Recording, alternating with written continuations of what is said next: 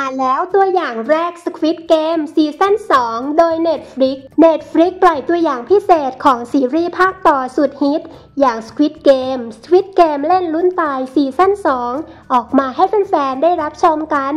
ในซีซั่นนี้ยังได้ อีจองแจมารับบทเดิม อย่างซองกีฮุน ผู้เล่นหมายเลข